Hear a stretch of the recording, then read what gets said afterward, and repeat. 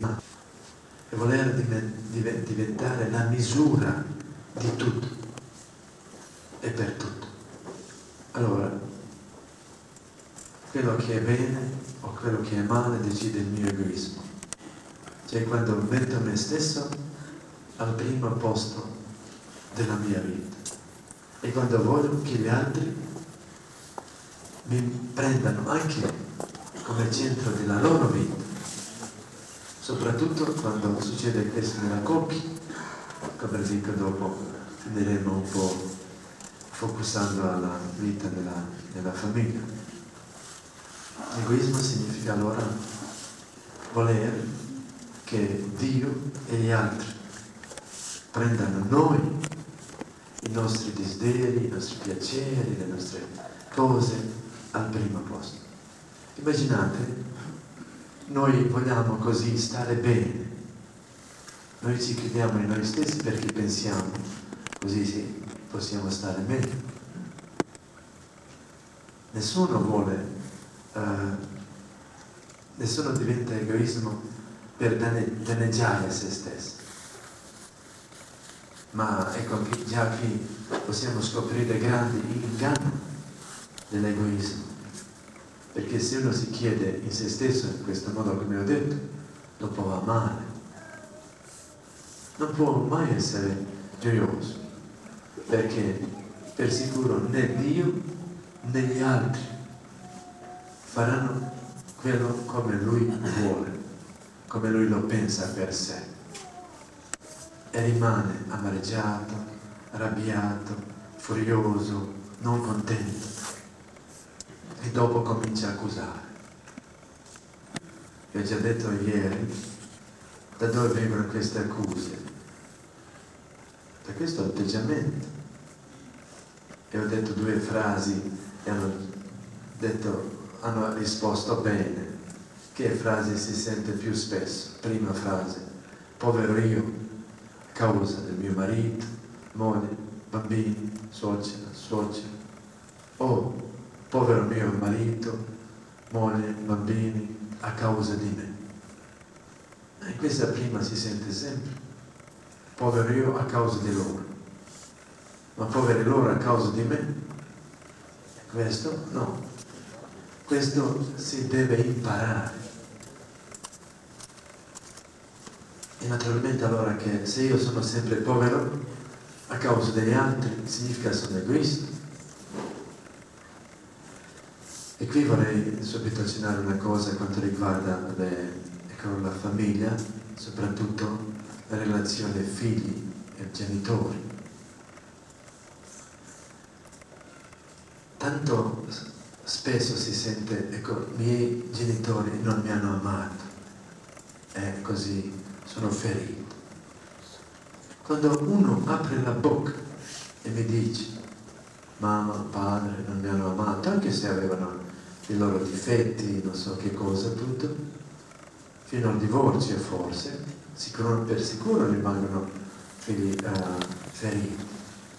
Ma io dico subito adesso un po' stop, bisogna discendere la cosa.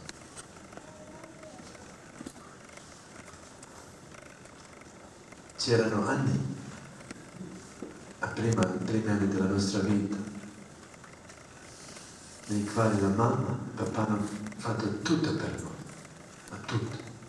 Erano per noi 24 ore.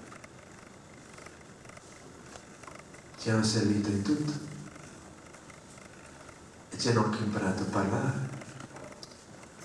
E, una, e chi era il primo che doveva sentire no dalla nostra bocca era mamma, era papà, erano i genitori. Quando ci servivano andavano, erano bravi, quando volevano qualche cosa da noi e dopo si mettono in discussione. Allora io interrompo frase subito quando le dico ai genitori così.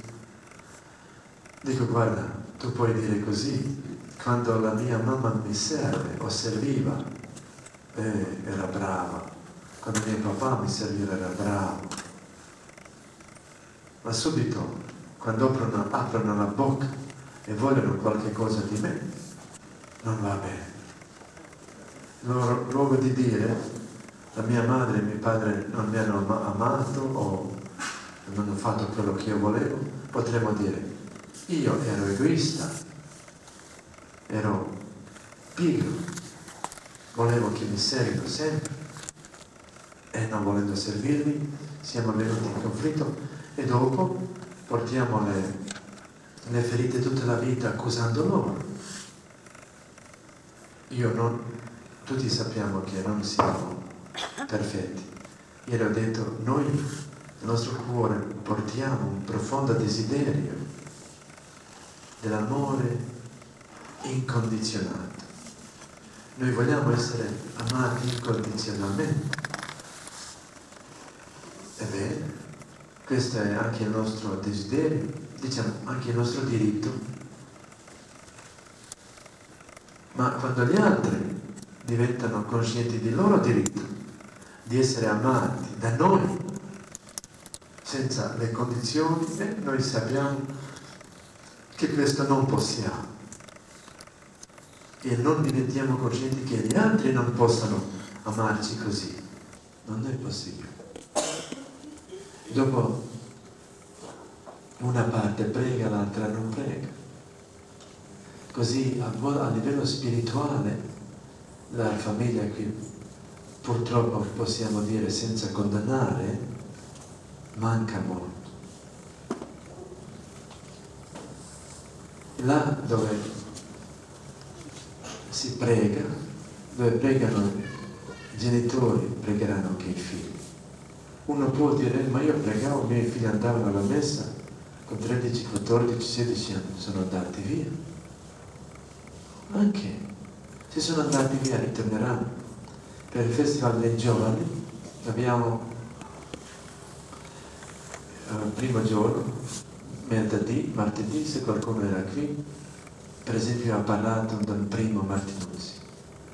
Lui era medico, psiatra, psicoterapeuta, aveva, aveva la sua prassi.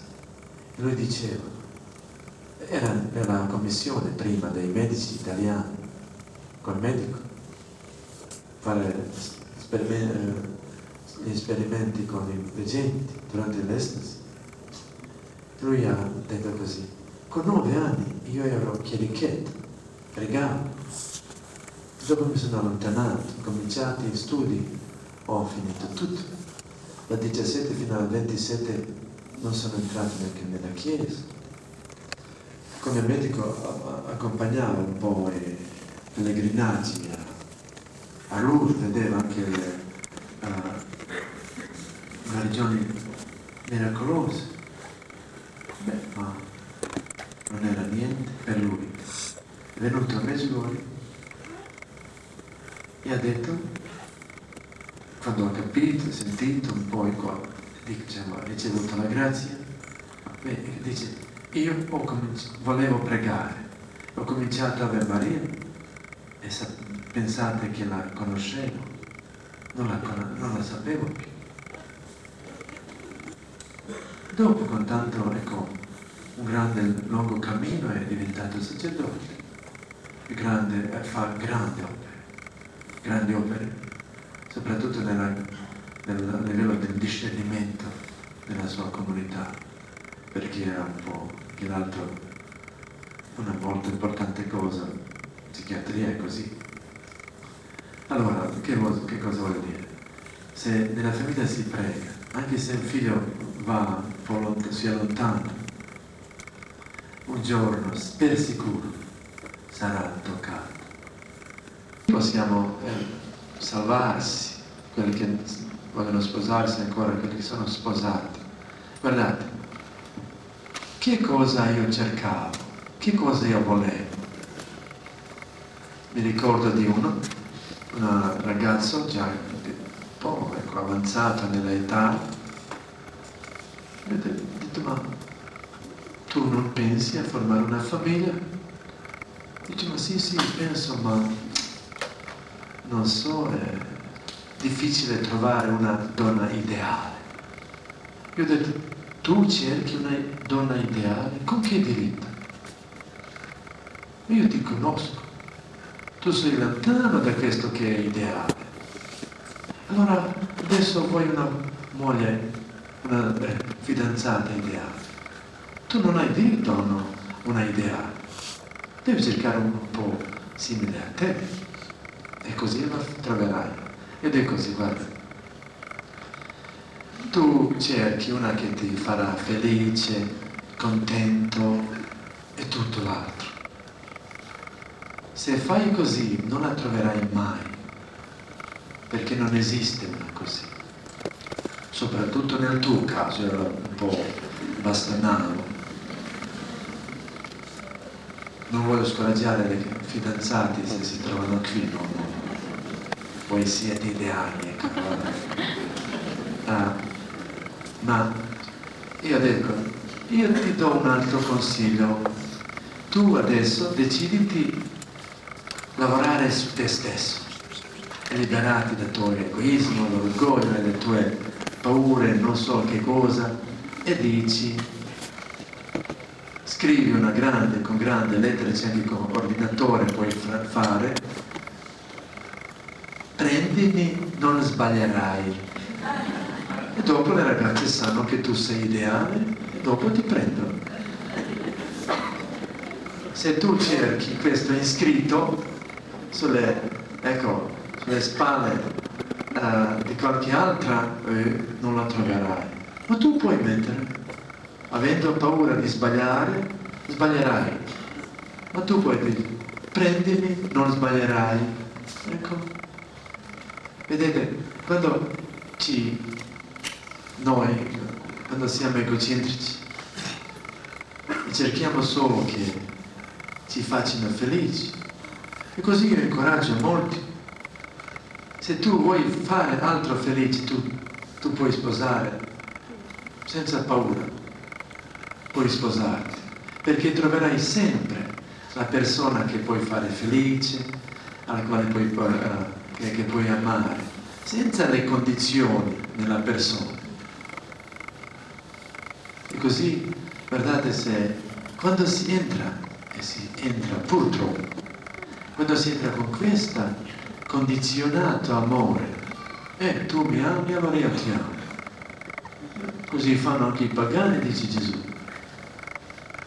Amare senza le condizioni significa pace e poter anche superare tutte le tentazioni e rimanere veramente proprio felici e avere, e avere essere una famiglia in pace.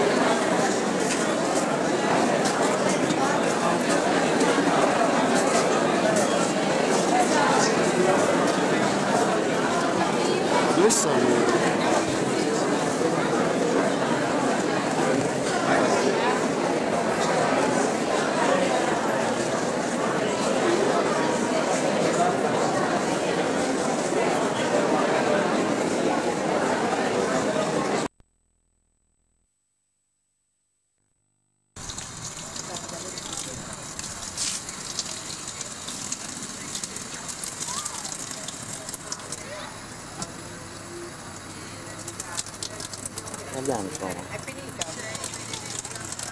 Dico, mettiamo un'altra ruina, non niente. Molto. Eh.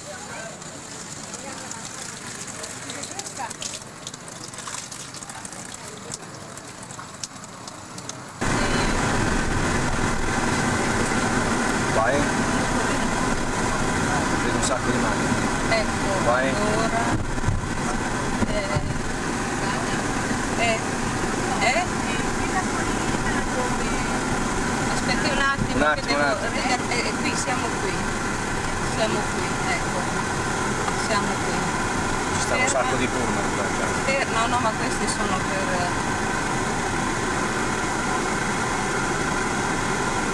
Ascolta, io li devo accompagnare, poi torno.